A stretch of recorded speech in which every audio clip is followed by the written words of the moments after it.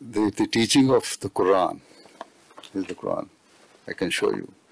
The nutshell of the teaching is that man should believe in one and omnipotent God and obey his orders, his commandments given to the prophets.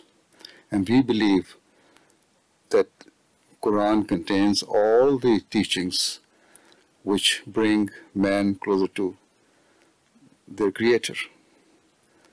And the second thing which we can see in, in the Holy Quran is that man, a true believer, should discharge his duties towards his fellow being, as I have told earlier.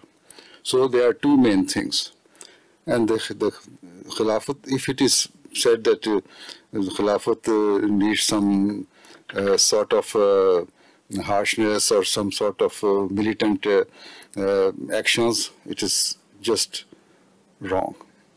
Khilafat has to continue the task given to the Holy Prophet of Islam to bring humankind closer to their Creator, and second, to serve their humanity.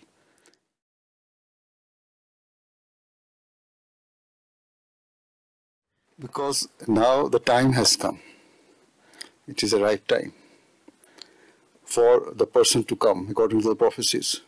And when the other Muslims see that the person has not yet come, all those so-called scholars and clerics or leaders who have their vested interests, they try to bring frustrated people together and uh, try to use them for their own vested interests because it was the time when the person was to appear.